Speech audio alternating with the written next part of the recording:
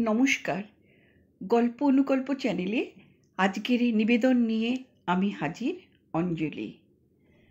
আজকের গল্প শক্তিপদ রাজগুরুর সর্বকালের সেরা পঞ্চাশ গল্প থেকে নেওয়া অনুভব। ভিআইপি রোড দিয়ে একটা গাড়ি চলেছে, দামি বিদেশি ঝকঝকে গাড়ি। পথ দিয়ে দেখা যায় মোটর বাইকে চলেছে দুটি মস্তান মতো চেহারার তরুণ। পেছনের সিটে বসা ছেলেটি এই গাড়িটা দেখিয়ে বলে, চাবুক একখানা মাল মাইরি, একেবারে ফাটাফাটি। ওরা গাড়িটাকে একবার ফাস্ট করে বিরক্ত করছে, কখনো ওভারটেক করছে, কখনো বা পাশ দিয়ে যাচ্ছে। দামি গাড়িটা চালাচ্ছে একটি তরুণী। সে এই ঘটনায় বেশ বিরক্তই হয়। তার পরনে জিন্স শার্ট মোটর বাইকটা এই গাড়িটাকে ওভারটেক করে একেবারে সামনে গিয়ে দাঁড়িয়ে যায়। মেয়েটি ব্রেক কষেছে। গাড়িটা একেবারে মোটর বাইকের সামনে গিয়ে থেমে যায়। ছেলে দুটি নেমে যায়। বাইক যে চালাচ্ছিল সেই আবার বলে, আমাকে ধাক্কা মারলেন কেন? মেয়েটি বলে, উল্টে আপনারাই তো তখন থেকে জ্বালাতন করছেন। অন্যায় করেছেন। আপনারা গাড়ি থামালেন কেন? অন্য ছেলেটি বলে ওঠে, তোমাকে দেখে পাগল হয়ে গেছি চাঁদু। মেয়েটি চটে ওঠে। ইউ রাস্কেল ছেলেটাও চটে উঠে বলে ধাক্কা মারবে, আবার গালাগালো দেবে? ইনসাল্ট করবে? মেয়েটি গর্জে ওঠে, তোমরাই তো আমাকে ইনসাল্ট করছ। ইতিমধ্যে এদিক ওদিক থেকে কিছু পথচারী চলে আসায় ওই ছেলে দুটো মেয়েটিকে শাসিয়ে চলে যায়। মেয়েটি ভাবছে এবার সে থানাতেই যাবে, রিপোর্ট করবে। থানাতেই যায় ঝিলিক। থানার অফিসার ঝিলিকের ওপর ওই দুটো মস্তানের অত্যাচারের কাহিনী শুনছে সমবেদনার সঙ্গে। হঠাৎ ফোনটা বেজে ওঠে। ফোনটা পেয়ে দারোগাবাবু যেন কি একটু ভাবলেন। তারপর ঝিলিককে বললেন, আপনি একটু বাইরে অপেক্ষা করুন ম্যাডাম, জরুরি একটা কথা সেরে আপনার কথা শুনব। ঝিলিক বের হয়ে আসে, বাইরে একটা বেঞ্চে বসে। হঠাৎ দেখে সেই পথের দেখা মস্তান দুটো থানাতেই এসে ঢুকছে। ঝিলিক খুব অবাক হয়। মস্তান দুটো ঝিলিককে দেখেছে, কিন্তু ওর দিকে নজর না দিয়ে গট গট করে তারা সামনে অফিসারের ঘরে ঢুকে গেল। ঝিলিক বাইরে থেকে দেখে, থানার ওসি ওদের সঙ্গে বেশ হেসে হেসেই কথা বলছে। আর তারা মনে হচ্ছে ওসির বেশ পরিচিত। ছেলে দুটো বের হয়ে এসে এবার ঝিলিককে দেখে বলে, নালিশ তো আমরাও করেছি। ঠিক আছে, তুমিও করো। তবে সাবধানে থাকবে কিন্তু। ওরা বের হয়ে গিয়ে বাইকে ওঠে। ঝিলিক আবার এসেছে ওসির কাছে। ঝিলিক এবার এই ব্যাপারে কথা বলতেই ওসিও উগ্রস্বরে কথা বলে। সে বলে, প্রমাণ সাক্ষী না হলে তো আপনার কথা শোনা যাবে না, ম্যাডাম। একটা জিডি করে যেতে পারেন। ঝিলিক বলে, তদন্ত করলে স্থানীয় লোকদের কাছে এই সত্যতা জানতে পারবেন, স্যার। আপনি চলুন আমার সাথে। ওসি তাও করবে না। সে এখন ফেসে গেছে। ঝিলিকও ছাড়বে না। এমনি সময় একজন ভদ্রলোক ওসির ঘরে ঢুকলেন। তিনি মেয়েটির সব অভিযোগই শুনেছেন। শুনেছেন ওসির কথাও। শেষ অবধি তিনিই বলেন, অফিসারকে, আপনি ওর অভিযোগের এফআইআর নিন। এত বড় একটা অন্যায় হয়েছে তার উপর। এটা বিচার হবে না? মেয়েটা তার সপক্ষে ওই ভদ্রলোককে সওয়াল করতে দেখে ওর দিকে চাইল যেন সত্যিকারের একজন সাহায্যকারীকে পেয়েছে ঝিলিক। ওসি তবুও রিপোর্ট নিতে চায় না, এমনকি সেই ভদ্রলোকের কথাও শুনতে চায় না। শেষে ভদ্রলোক তার কার্ড বার করে ওসিকে বললেন, আমি একজন অ্যাডভোকেট। আমি আপনাকে বলছি, ওনার এফআইআর নিতে আপনি বাধ্য। আপনি কেস না নিলেও আমি ওকে দিয়ে কোর্টে কেস করাবো। আর সেই কেস আমিই লড়বো ওর হয়ে। এবার ঝিলিকও অবাক হয় ভদ্রলোকের পরিচয় শুনে আর খুশি হয়। ওসির চেহারাটাই বদলে যেতে থাকে। ঝিলিক ভদ্রলোকের সঙ্গে বের হয়ে আসে। ঝিলিক বেশ হালকা মন নিয়ে বের হয়েছিল কলেজের সোশ্যালে নাচ গানের জন্য। পথে এই বিপদ। ঝিলিক ভদ্রলোকের কাছে কৃতজ্ঞ। ভদ্রলোক বলেন আমাকে আবার কোর্টে যেতে হবে। ঝিলিক বলে, আমিও তো ওই পথেই যাব। চলুন, আপনাকে কোর্টে নামিয়ে দিয়ে কলেজে যাব। গাড়িতে উঠেছে সেই উকিলবাবু। ঝিলিক তার অচেনা হয়েও আদতে তিনি অন্যায়ের প্রতিবাদ করছেন। ঝিলিক তাই তার কাছে সত্যিই খুবই কৃতজ্ঞ। ভদ্রলোকের পরিচয় জেনেছে ঝিলিক। তার নাম অনিমেষ রায়, হাইকোর্টের নামই উকিল। ঝিলিক বলে পুলিশ তদন্ত শুরু করলে আপনার সাহায্য তো দরকার হবে। আপনার ঠিকানাটা? অনিমেষ পকেট থেকে একটা কার্ড দেয়। তিনিও বলেন, তোমার ঠিকানা? ঝিলিক এবার অনিমেষকে তার বাড়ির ঠিকানা, বাবার নাম বলতে চমকে ওঠে অনিমেষ। অনিমেষ চেনে ওই মেয়েটির বাবাকে। অনিমেষ বলে, তোমার বাবা মিস্টার দীপ সেনের তো ওপর মহলে ভীষণ নাম ডাক ওনার একটা ফোনেই তো। ঝিলিক বলে বাবাকে এসব কথা আমি জানাতে চাই না। আমার ওপর অত্যাচারের প্রতিবাদ আমি নিজেই করব। অনিমেষ বলে, শিওর, তোমার এই প্রতিবাদ মানসিকতাকে আমি শ্রদ্ধা করি, তাই লড়ব কেসটা। পরে ফোন করো হ্যাঁ? উকিলবাবুকে নামিয়ে দিয়ে ঝিলিক চলে যায় তার কলেজে। এমনিতে তার আজ অনেক দেরি হয়ে গেছে। ওদিকে প্রোগ্রামও শুরুর মুখে, তাই কলেজে পৌঁছতেই তার কলেজের বন্ধুরা বলে এই, এত দেরি কেন? তোর জন্য রিহার্সাল আটকে আছে? ঝিলিক বলে, নে, শুরু কর। ওরা ঝিলিকের অপেক্ষায় নাচ গানের রিহার্সাল আরম্ভ করতে পারছিল না। এখন ঝিলিক এসে পৌঁছতে ওরা নাচ গানের রিহার্সাল আরম্ভ করে। কিন্তু ঝিলিক আজ রিহার্সালে মনঃসংযোগ করতে পারে না। বারবার চোখের সামনে ভেসে ওঠে সেই মস্তান দুটোর মুখ। তাল কেটে যায় নাচে। বারবার ভুল হচ্ছে দেখে ঝিলিক নিজেই বলে, শরীরটা আজ ভালো নেই রে। কলেজে কিন্তু সেদিন মিস্টার রিঙ্গোদের প্রোগ্রাম আছে। সেখানে হল ভর্তি লোকের সামনে প্রোগ্রাম করতে হবে। ঝিলিক অবাক হয়। মিস্টার রিঙ্গুর মতো শিল্পীকে পেলে আমাদের সোশ্যালে? হেমন্ত বলে, টাকাও ভালোই দিয়েছি। আগের ইউনিয়নকে হারিয়ে এবার আমরা এসেছি। একটা নতুন কিছু তো করতেই হবে। যাতে কলেজ ইউনিয়নকে দখলে রাখতে পারি। অসীম বলে, হলের সব কটা টিকিটই বিক্রি হয়ে গেছে, ফাটাফাটি হবে প্রোগ্রামটা। ঝিলিক বলে, আর বিবেকের দল তো পেছনে পড়ে রয়েছে, যদি কোনো গোলমাল করে হলের বাইরে? হেমন্ত বলে, তার জন্য বেশ কড়া পাহারার ব্যবস্থায় রেখেছি, বুঝলে? ট্যাঁ ফু করলে না সব কটাকে জব্দ করে দেবে ওরা। ঝিলিক বলে ওরা তো এলাকার মস্তান শুনেছি। হেমন্ত বলে, যে পুজোর যে মন্ত্র, বিবেকদের ট্যাঁ ফু করতে দেব না। বিবেক কলেজের বিরোধী ছাত্রদলের নেতা। বিবেকরা সুযোগ খুঁজছে রিঙোর ফাংশনে ব্যাঘাত ঘটাবার জন্য। জনপ্রিয় শিল্পী অনুষ্ঠানে না এলে হেমন্তরা বিপদে পড়বে। তাই বিবেক রিঙোর কাছে গিয়ে বলে, আপনি সেদিন অনুষ্ঠানে যাবেন না কিন্তু। রিঙো টপ নাচিয়ে প্রতিভাবান শিল্পী। বিবেক তাকে শাসিয়ে বলে, গেলে আপনারই বিপদ হবে। আপনার পাখানাই আর আস্ত থাকবে না। অবশ্য আপনি যদি ফাংশন বানচাল করতে পারেন, তার জন্য উল্টে কিছু টাকা পাবেন। এবার যা ভালো বোঝেন করুন। আমার শেষ কথা জানিয়ে গেলাম। রিমু বলে, আপনার কথা আমার মনে থাকবে। কলেজের অনুষ্ঠান দেখা যায় ছেলেরা ভিড় সামলাচ্ছে আর বাইরে কড়া পাহারার ব্যবস্থাও রয়েছে। ছেলে মেয়েদের মধ্যে বেশ উৎসাহ। সবাই রিঙ্গোর নাচ দেখার জন্য উদ্গ্রীব হয়ে রয়েছে। রিঙ্গো মঞ্চে অনুষ্ঠান করতে উঠেছে। চিৎকার, সিটি, হাততালি দেয় উৎসাহী ছেলে মেয়েরা। হঠাৎ নাচের শুরুতেই রিঙ্গো নাচতে গিয়ে পা পিছলে মঞ্চে আছড়ে পড়ে। হই হই শব্দ ওঠে। রিঙো পড়ে আছে, আর উঠতে পারছে না। তার পাটাই বোধহয় ভেঙে গেছে। পর্দা পড়ে যায়। রিঙোকে তুলে নিয়ে আসা হয়। রিঙো খুব কাতরাচ্ছে। উদ্যোক্তারা বলে, ওকে হাসপাতালে নিয়ে চলো শিওর পাই ভেঙেছে।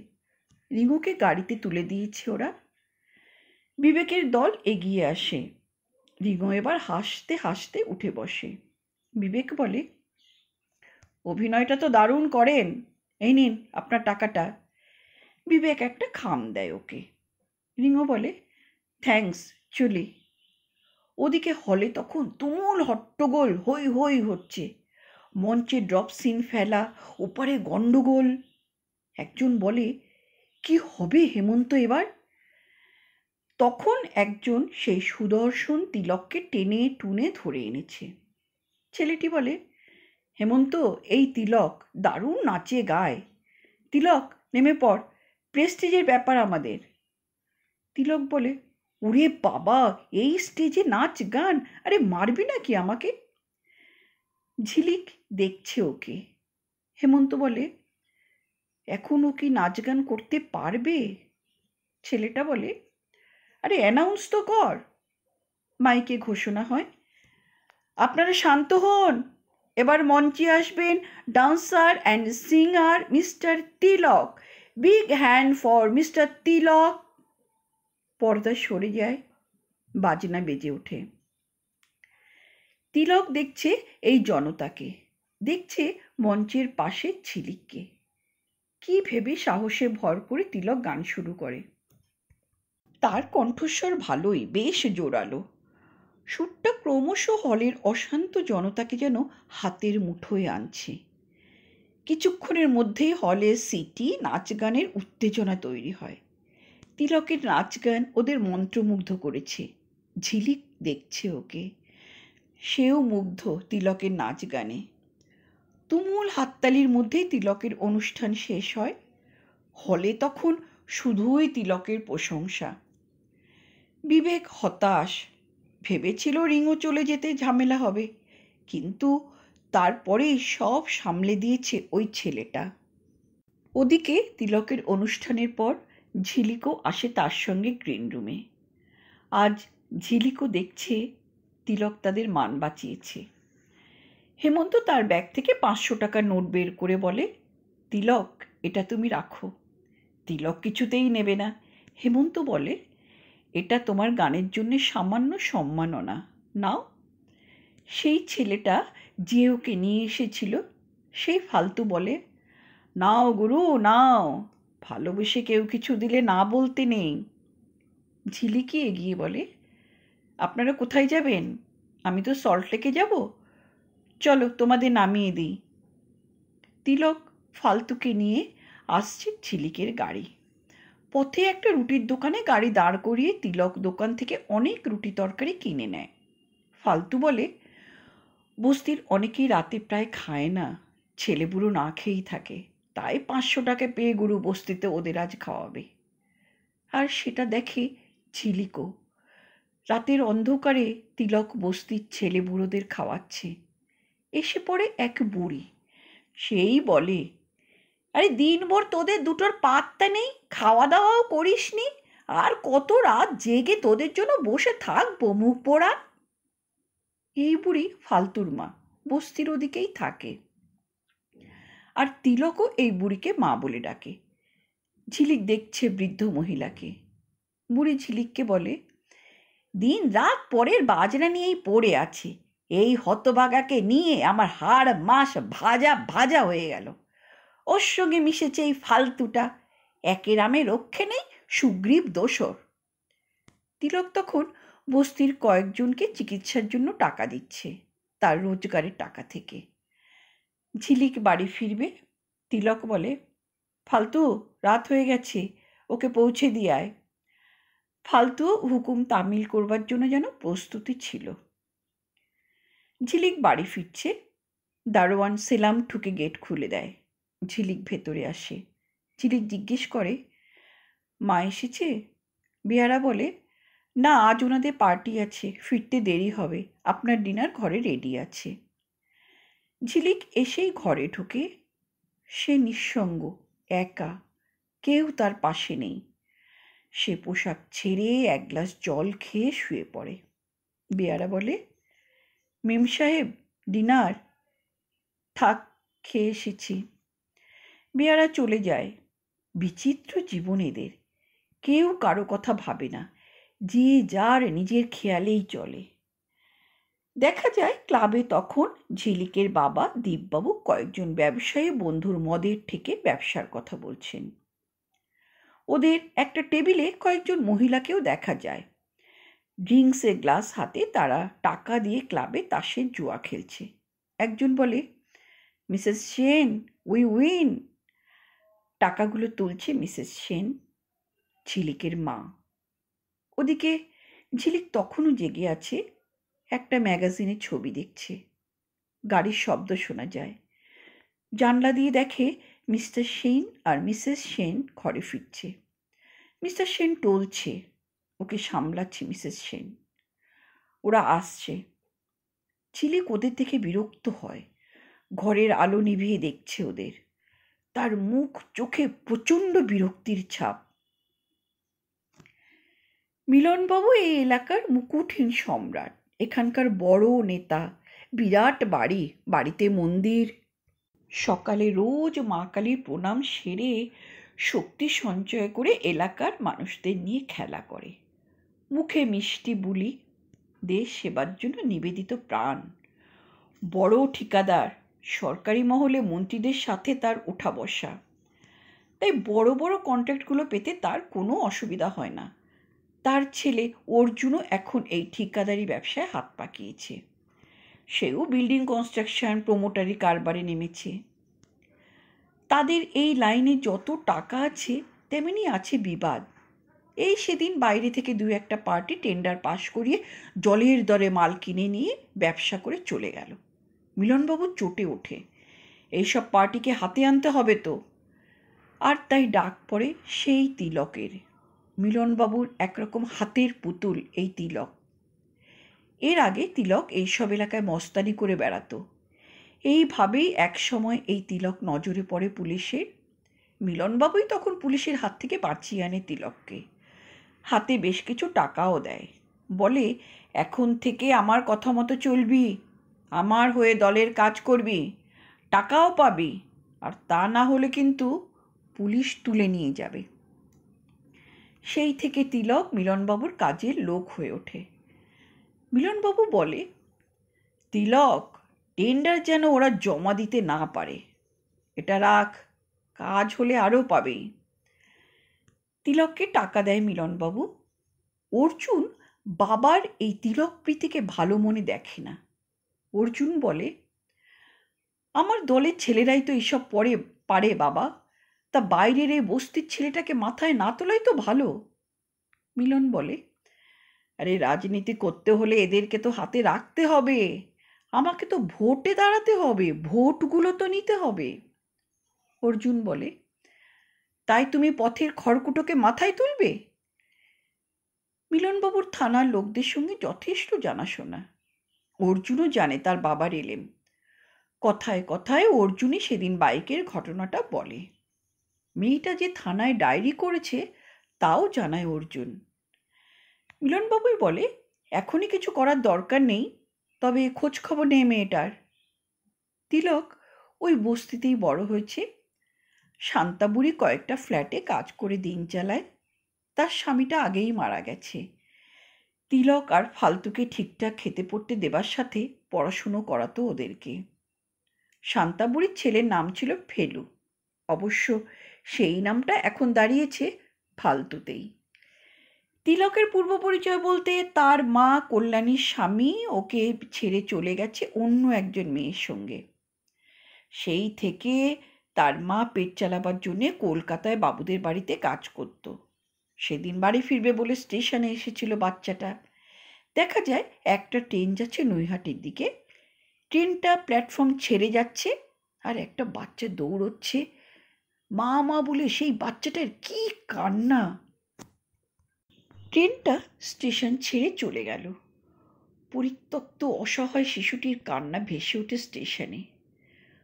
লোকজন এসে জুটেছে, দেখছে সবাই।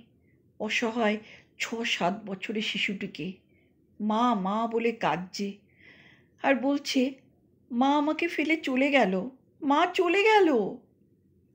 সেদিন ঘটনাটা সবাই দেখেছে, কিন্তু কেউ এগিয়ে আসেনি বাচ্চাটার কাছে। এই শান্তা বুড়ি তখন ওকে এখানে নিয়ে এসে তার ছেলে ফেলুর সঙ্গে মানুষ করে। সেই বাচ্চা ছেলেটার কি একটা নাম ছিল ছেলেবেলায়? নামটা ভুলে গেছে সবাই। ছেলেটা বেশ সতেজ, ভালো গান গায়, ঈশ্বর দত্ত কণ্ঠ। ক্রমশ জীবন যুদ্ধে লড়াইয়ে সামিল হয়। দেখেছে গায়ের জোর আর থানায় তার মুলুক। ক্রমশ এই এলাকায় তিলক একটি পরিচিত নাম হয়ে ওঠে। ভোটের সময় অনেকেই ফায়দা লুটতে বা অন্যান্য কাজেও কাজে লাগায় এই তিলককে। তারা বলে, তিলক, তোর হবে, তুই অনেক দূর যাবি। তিলক সেই থেকে এই শান্তাবুড়ির কাছেই থাকে, তাকেই মা বলে ডাকে। মিলনবাবুর নির্দেশেই তিলক ও তার দলবল টেন্ডার জমা দেওয়া দিন বিশ্বাসবাবুর চেম্বারের বাইরে তৈরি হয়ে থাকে। দু তিনজন বাইরের ব্যবসায়ী আসছে গাড়ি নিয়ে। তারা একটা বড় সরকারি কন্ট্রাক্ট পাওয়ার জন্য টেন্ডার জমা দিতে আসছে। পথেই রয়েছে তিলকের দল। ওরা সামনে আসতেই ওদেরকে বাধা দেয় তিলকের দল। ওরা বাধা সরাবার চেষ্টা করলে ফালতু গর্জে ওঠে। ওদের ব্যাগ ধরে টানতে চায়। কিন্তু ওরাও সরে যেতে নারাজ। তিলক বলে যা বলছি তাই শোনো, ফিরে যাও। না হলে ব্যবসায়ী দুজন প্রতিবাদ জানায়, আমরা পুলিশে যাব। এদের মধ্যে ক্রমশ বচসার সূত্রপাত শুরু হয়ে যায়, সেই থেকে বোমা ফাটে, গুলিও চলে দোকান পাট বন্ধ হয়ে যায়। সেই সময় ওই পথ দিয়ে যাচ্ছিল ঝিলিক সে দেখে বোমা ছুটছে তিলক, গুলি চালাচ্ছে, আর ভীত সেই ব্যবসায়ী দল পালাচ্ছে। পালাচ্ছে পথ চলতি অন্য লোকজনও। ঝিলিক যেন নিজের চোখে বিশ্বাস করতে পারে না। এই ছেলেটাই কলেজে সেদিনের সেই সোশ্যালের অনুষ্ঠানে কি দারুণই না গান গেয়েছিল? সে সত্যিই একজন গুণী শিল্পী কিন্তু সেই তিলককে যে আজ এইভাবে ভিন্ন রূপে দেখবে, ভাবেনি ঝিলিক। ঝিলিক সেদিন নিজের থেকেই আলাপ করেছিল এই ছেলেটার সঙ্গে। ছেলেটা গানের সাথে সাথে ভালো নাচেও। ঝিলিকের বেশ লেগেছিল এই ছেলেটাকে। সুখবরটা পৌঁছে যায় মিলনবাবুর কাছে। মিলনবাবু অর্জুনকে নিয়ে টেন্ডার জমা দিতে এসেছে। লোকে বোমাগুলির শব্দে আতঙ্কিত। পুলিশ আসে ঘটনাস্থলে অনেকক্ষণ পর। তখন তিলকরা কাজ হাসিল করে চলে গেছে। মিলনবাবু খুশি। টেন্ডার জমা দিতে আর কেউ আসেনি। আর এসব হয়েছে তিলকের জন্যই। তাই এদিকের কাজ ছেড়ে মিলনবাবুই বলে, অর্জুন, তুই আমাদের উকিলবাবুর কাছে যা। কি বলে তিনি আমাকে জানা। ঝিলিকও এসেছে উকিল অনিমেষবাবুর কাছে। সেই ঘটনায় অনিমেষবাবু এবার কেস চালু করেছে। তিনি বলেন, ঝিলিক, তোমার কেস লড়তে তোমার বাবাকে দরকার হতে পারে। তারও তো জানা দরকার। মাকে সব কথা বলেছ তো? ঝিলিকের মুখ কঠিন হয়ে যায় বাবা মায়ের কথা শুনে। সে বলে, ওদের এসব কথা জানার দরকার নেই, তাছাড়া ওদের সময়ও নেই। সে কি? তাদের মেয়ের প্রবলেম তাছাড়া ওরাই তো তোমার অভিভাবক। ঝিলিক বলে, আমি গ্র্যাজুয়েশন করছি, এখন অ্যাডাল্ট আমি, নিজেই নিজের অভিভাবক। আমার মা বাবা আছেন বটে, তাদের অনেক অনেক টাকা। কিন্তু আমার জন্য দেবার মতো তাদের কাছে এতটুকু স্নেহ, ভালোবাসা, সময় কিচ্ছু নেই। আমি তাদের কাছে এগোবার চেষ্টা করেছি, কিন্তু তার বদলে জানেন, প্রত্যাখ্যানে শুধু পেয়েছি। জানেন অনিমেষবাবু, ছেলেবেলার একটা ঘটনা আপনাকে বলি। ঝিলিকের চোখের সামনে ভেসে ওঠে ছোটবেলার ছবিটা। ছোট্ট ঝিলিক নাচ গানের একটা মেডেল পেয়েছে। ছোট্ট মেয়েটা সে মেডেল দেখাবার জন্য বসে আছে। আয়া বলে, সাহেব মিম বাইরে গেছে, আজ তাদের ক্লাবে পার্টি আছে, ওদের ফিরতে দেরি হবে, তুমি শুয়ে পড়ো বেবি কিন্তু ঝিলিক শোয় না। বাবা মা পার্টি থেকে ফিরে অনেক রাত্রে। ঝিলিক মেডেলটা দেখিয়ে বলে ড্যাডি মাম্মি আমার স্কুলে কম্পিটিশনে ফার্স্ট হয়ে এটা আমি পেয়েছি। এই দেখো মেডেল ওর বাবা তখন নেশার ঘোরে ছুঁড়ে ফেলে বলে, একটা টিনের চাকা দেখাবার জন্য এত রাত অবধি জেগে আছো? ননসেন্স হতাশ ঝিলিক মেডেলটা মাটি থেকে তুলে নেয়। ঝিলিকের মাও বলে, কাল সকালে তোমার স্কুল, আর এত রাত পর্যন্ত জেগে আছো এই নিয়ে? আয়াকে ডেকে বলে, নিয়ে যাও ওকে টেক কেয়ার ওরা নিজেদের ঘরে চলে যায়। ঝিলিকের চোখে জল নাবে। ফুঁপিয়ে ফুঁপিয়ে কাঁদতে কাঁদতে কখন যে ঘুমিয়ে পড়েছিল সে নিজেই জানে না। আজকে ঝিলিক বলে অনিমেষবাবু পদে পদে আমাকে অপমানিত হতে হয়েছে আমার মা বাবার কাছে। শুধুমাত্র সন্তানের এতটুকু অধিকার চাইতে গিয়ে। ওদের সমাজ, ওদের জগৎ একেবারে আলাদা। ওই কর্মব্যস্ত, স্বার্থপর মানুষ দুটোকে আমি ঘৃণা করি।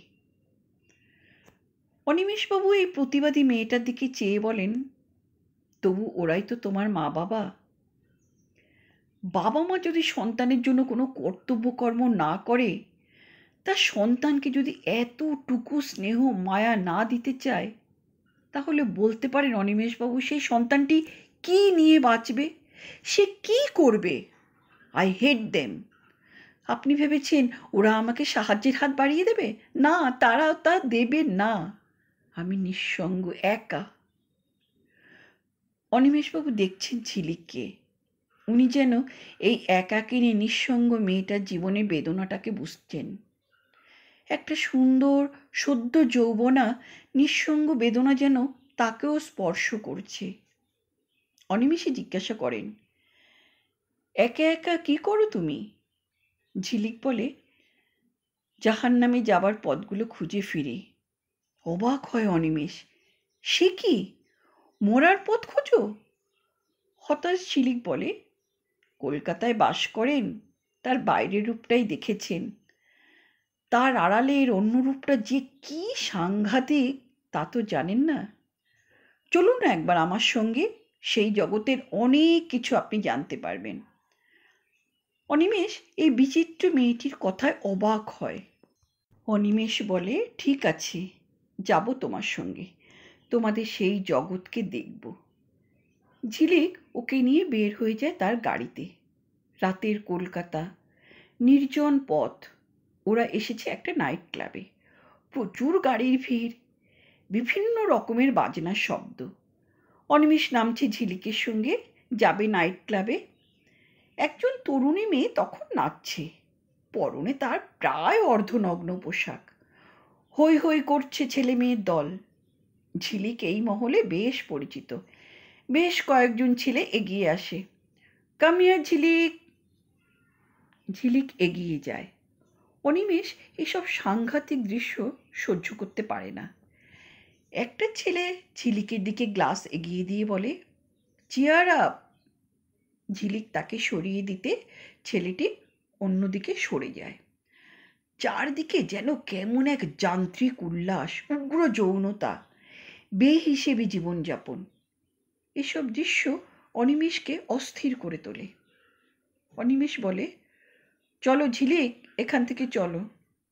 ঝিলিক বলে, কলকাতার রাতের চেহারাটা কত সুন্দর সেটা দেখুন। চলুন ওদিকে। একটা প্রায় অন্ধকার ঘর বোধহয় লাইট অফ করা আছে। কয়েকজন মরার মতো প্রায় অর্ধ অচৈতন্য অবস্থায় পড়ে আছে। কেউ বিড়বিড় করছে নেশার ঘোরে। একটা ছেলে ঝিলিককে দেখে বলে টেক আর ট্যাবলেট ঝিলিক। এটা নাও। নেবে না? দেখো পিওর মাল আছে সিরিঞ্জে ওটা নিতে পারো। ঝিলিক তাকেও সরিয়ে দেয়। অনিমেষে দেখছে ড্রাগ আসক্ত এই তরুণ তরুণীগুলোকে। অনিমেষ বাবুকে নিয়ে ফিরছে ঝিলিক অনিমেষ, আজ এখানে এসে এই শহরের আগামী সমাজের একটা যন্ত্রণা, হতাশাময় অন্ধকারকেই দেখেছে, ঝিলিক বলে। এরা সবাই বেশ ধনী ঘরের ছেলে মেয়ে। এরা তার বাবা মার কাছ থেকে স্নেহ, মমতা, ভালোবাসা কিচ্ছু পায়নি দিশাহীন এদের জীবন।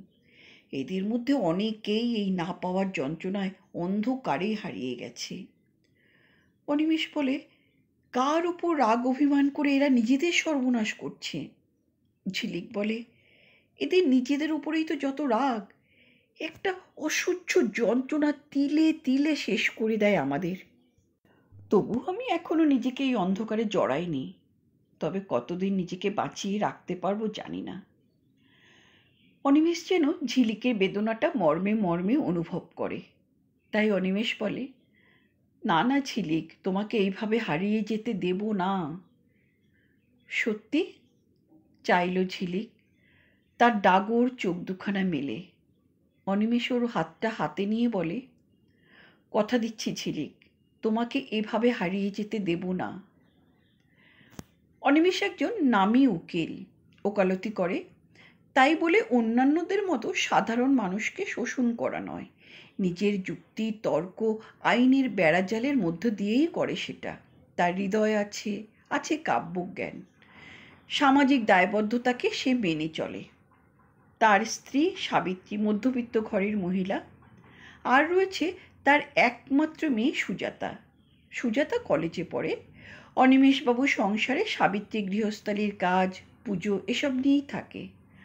সুজাতাই বাবার দেখাশোনা করে। রাত অবধি চেম্বারে মক্কেল, জুনিয়রদের নিয়ে নানা কাজের ব্যাপারে আলাপ আলোচনা করে। সুজাতাই এসে বাবাকে বলে, বাবা, ওঠো, অনেক রাত হয়ে গেছে। বাবার দিকেই সুজাতার বেশি নজর। কয়েকদিন ধরে সুজাতা দেখছে, বাবা কোর্ট থেকে ফিরতে দেরি করছে। অনিমেষের বাড়িতে ঝিলিক ইদানিং আসে, অনিমেষকে নিয়ে বের হয়ে যায়। মেয়েটা যেন কাজের চেয়ে অনিমেষের সান্নিধ্য বেশি পছন্দ করে। যেদিন মেয়েটা কোনোদিন অনিমেষকে নিয়ে যায় ক্যাসিনোর হলে, কোনোদিন বা গ্র্যান্ডের বলরুমে, অনিমেষও দেখে ঝিলিকের এইসব বিচিত্র জীবন চর্চাকে ঝিলিককে ওই জগৎ থেকে ছিনিয়ে আনবেই অনিমেষ। ঝিলিক হাসে, বলে, তুমি কেন এইসব নরকে আসো?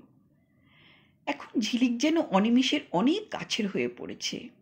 অনিমেষ বলে, তোমার জীবনে নিঃসঙ্গতাকে দূর করতে আমি চাই তুমি এই অন্ধকারে হারিয়ে যাবে না, তাই তোমাকে সঙ্গ দিতে চাই।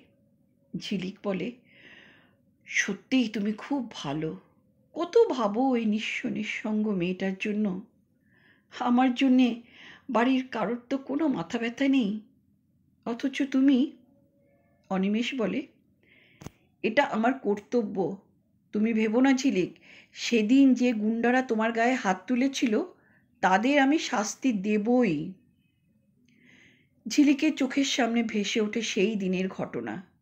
সে একা গাড়ি নিয়ে যাচ্ছিল, দুটো মস্তার মতো ছেলে বাইক নিয়ে তাকে বিরক্ত করে। ঝিলিকের গালে চড়ও মেরেছিল এদের মধ্যে একজন। অনিমেষ বলে, তবে দু একজন সাক্ষীর দরকার। ওই জায়গায় গিয়ে খোঁজ খবর নিতে হবে। ঝিলিক বলে, ঠিক আছে, কালই যাব। দু একজনকে ঠিক খুঁজে পাওয়া যাবে। অনিমেষ সেদিন ঝিলিককে নিয়ে ব্যস্ত। ওরা খুঁজে খুঁজে সেই জায়গা থেকে একজন বুড়ি আরও দু একজনকে জোগাড় করেছে। তারা সাক্ষী দেবে। বুড়ি বলে, আমি যা দেখেছি তাই বলব বাবা। ওদিকে দু একজন ছিল পথের ধারে চায়ের দোকানে। সেই দোকানদারও বলে আমিও বলব সত্যি কথা। ঝিলিক নিশ্চিন্ত হয়। ঝিলিক অনিমেষকে নিয়ে আসে একটা হোটেলে। এই হোটেলে ঝিলিকের একটা রুম বুক করা আছে। কোনো কোনো রাতে ঝিলিক বাড়ি ফেরে না, এখানেই থেকে যায়। অনিমেষ সব শুনে বলে, না না, এটা ঠিক নয়। যত রাতই হোক বাড়ি ফিরবে। বাবা মা ভাববেন, আমার জন্যে কেউ ভাবে না। অনিমেষ ঝিলিকের হাত ধরে বলে, এখন থেকে আমি তো ভাবছি তোমার জন্যে। ঝিলিক খুব খুশি হয়, যেন একজন নিজের আপনজনকে পেয়েছে। অনিমেষ বলে, চলো বাড়ি ফিরতে হবে। ঝিলিক বলে, বাড়ির জন্যই তো তুমি সারাদিন ভাবো, আমার জন্য কতটা ভাবো তাই দেখছি। সুজাতা দেখে, বাবা কয়েকদিন ধরেই রাত করে বাড়ি ফিরছে। সাতটার পর চেম্বারে ওর জুনিয়ররা আসে, তারাও তাদের স্যারকে আর চেম্বারে দেখতে পাচ্ছে না। সুজাতা বলে, বাবা এখনও ফেরেনি? এক জুনিয়র বলে, স্যার, কদিন ধরে এক ভদ্রমহিলার কেস নিয়ে খুবই ব্যস্ত। আজও ওনার সঙ্গে বের হয়েছেন। সুজাতা দেখে, রাত বাড়ছে, বাবার দেখা নেই। হঠাৎ গাড়ির শব্দে চাইল সুজাতা। দেখে একটি মেয়ে বাবাকে ছেড়ে দিয়ে গেল। সুজাতাই গম্ভীর মুখে দরজা খুলে দেয়। অনিমেষ বলে এক ভদ্রলোকের কেস নিয়ে খুব ঝামেলা চলছে, আজও সিটিং ছিল। সুজাতা শুনছে বাবার কথাগুলো। বাবা এক ভদ্রলোকের কথা বলছে, কিন্তু সুজাতা দেখেছে আজ একটা মেয়েকে। সুজাতাকে তার বাবা আজ কেন জানে না মিথ্যে কথাই বলছে। তাই সুজাতা চুপ করে থাকে। সাবিত্রী দেবী বলে, কত রাত হয়েছে, সে খেয়াল আছে? যাও পোশাক বদলে এসো, আমি খাবার গরম করে আনছি। অনিমেষ এবার কথাটা ভাবছে। এই বিষয়ে চিন্তা করলেই নিজেরই খারাপ লাগে তার। অনিমেষ ঠিক করেছে সে ঝিলিককে এত পাত্তা দেবে না। তাই চেম্বারে আসার আগেই বের হয়ে আসে। ঝিলিক ফিরে যায়। সেদিন সে ফোন করে অনিমেষের বাড়িতে। অনিমেষ তখন বাথরুমে। সুজাতা ফোনটা ধরে। সুজাতা শোনে ঝিলিকের কথাগুলো। অনিমেষবাবুকে একটু দিন না। বলুন ঝিলিক সুজাতা ওর নামটা শুনেছে। সত্যি, মেয়েটা যেন বিদ্যুতের ঝিলিকের মতোই। মেয়েটার চেহারাটা ভেসে ওঠে সুজাতা চোখের সামনে। সুন্দরী, উচ্ছল, যৌবনা মেয়েটা এসেছিল গাড়ি চালিয়ে। গাড়ি স্টার্ট করে হাসি মুখে তার বাবাকে হাত নেড়ে চলে যায়। ওর দেহে মনের উচ্ছলতাও নজরে পড়েছিল সুজাতার। সুজাতা বলে, উনি এখন বাথরুমে ঝিলিক সহজভাবেই বলে, ওকে বলবেন উনি যেন আমাকে রিং ব্যাক করেন। সুজাতা ওর আদেশ শুনে মনে মনে খুব চটে ওঠে, ফোনটা নামিয়ে রাখে। বাবা ফোনের রিংটা শুনেছিল অনিমেষ বের হয়ে এসে বলল, কে ফোন করেছিল রে? কি নাম বলল? নাম বলল ঝিলিক সেন। কেউ নেই। অনিমেষ যেন কিছু চাপা দিতে চায়, তাই কণ্ঠস্বর সহজ করে বলে, আমার এক ক্লায়েন্ট সুজাতাকে বেশি বলতে হয় না অনিমেষ বলে, ঠিক আছে, আমি ওকে ফোন করে নেব। সুজাতা শুনছে বাবার কথাগুলো। ঝিলিক তার নিঃসঙ্গ জীবনে কাউকে পাশে পেতে চায়। সে জীবনে কোনো দিন ভালোবাসা বা স্নেহের স্পর্শ পায়নি। তার শূন্য জীবনপাত্র অপূর্ণই রয়ে গেছে। কদিন অনিমেষকে কাছে পায়নি ঝিলিক। সেদিন ঝিলিক বাড়ি ফিরছে, এদিকে পথটা বেশ নির্জন। সেই নেতা মিলনবাবুর ছেলে উঠতি মস্তান অর্জুন এখন কোর্টের সমন পেয়ে বিপদে পড়েছে। অর্জুন এভাবে অনেক মেয়েকেই জ্বালাতন করে। দু একজনকে টাকা দিয়ে হোটেলে রাতও কাটিয়েছে। অর্জুন সেটা ভেবেই সেদিন এই মেয়েটার পেছনে লেগেছিল। কিন্তু এই ঝিলিক যে তাদের দলের নয়, মেয়েটা প্রত্যুত্তরে এরকমভাবে প্রতিবাদ করবে তা বুঝতে পারেনি অর্জুন। তাই সেও তার চেলা গজুকে নিয়ে তককে তককে ছিল। আজ দেখছে ঝিলিক হোটেল থেকে বের হয়ে এই নির্জন পথে বাড়ি ফিরছে। অর্জুন গজুও তৈরি ছিল। ঝিলিকের গাড়িটা সামনে আসতে ওরা পথ আটকালো। ঝিলিকও দেখছে সেই মস্তান দুটোকে। অর্জুন এর মধ্যে খবর পেয়েছে যে ঝিলিক সেই উকিলের সঙ্গে সেই ঘটনাস্থলে গিয়ে কয়েকজন সাক্ষীকে জোগাড় করেছে। অর্জুন বলে চিনতে পেরেছ তাহলে? সেদিন তো ছেড়ে দিয়েছিলাম। আজ আর ছেড়ে দেব না। গজু, তুলে নিয়ে চল এটাকে। আজ ওরা মোটর বাইক নয়, একটা বড় গাড়ি এনেছে। সঙ্গে এনেছে বেশ কয়েকজন মস্তানকে। সেই গুন্ডার দলও ঘিরে ফেলেছে ঝিলিককে।